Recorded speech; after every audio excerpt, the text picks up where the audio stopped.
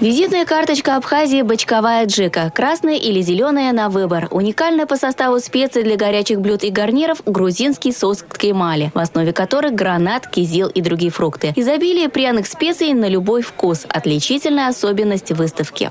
В любые блюда вместо обычной белой соли, соль абхазская – это изюминка моего огорода. Соль сванская. А тем, кому некогда стоять у плиты, предлагают уже готовые к подаче элитные мясные деликатесы из Армении. Традиционный хамон, армянская бастурма, мясо кабана в гранатовом соку. Таят в себе секреты старинных семейных рецептов. Диетический дамский деликатес – это зайчик с фазаном. Мясо – это два спортсменчика, оба жира не имеют. Один всю жизнь бежит, другой всю жизнь летит, поэтому мяско диетическое у них. Ну, конечно, косуля в вине вымачивается кинзмараули. Это один из самых традиционных таких рецептов кавказских.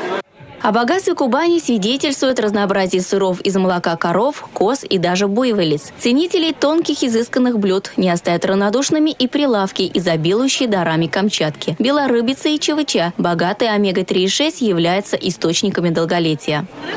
Да, я просто частенько покупаю. А вот эту рыбу, она по качеству очень, э, очень хорошая. И продавцы заявляют о том, что оно действительно слабосоленое, и хочется попробовать деликатес. Сама выставка очень оригинальная, конечно.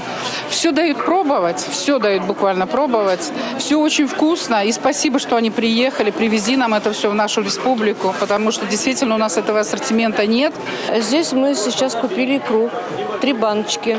Это выгодно, потому что одна баночка стоит 400 рублей, а три за тысячу. Искушают аппетит сушеные фрукты, различные виды халвы и мед армянских фермеров. Но где вы еще попробуете молодой цельный грецкий орех, сваренный с добавлением сахара? Говорят, это первый помощник для щитовидной железы. Также у нас есть замечательные шарики здоровья, мы их так называем просто. А, это цельные фрукты, внутри грецкий орех, фундук и смесь сухофруктов. Не содержит сахара, никаких добавочек, никаких консервантов. Для иммунитета самые первые помощнички. Это все привезено из Армении.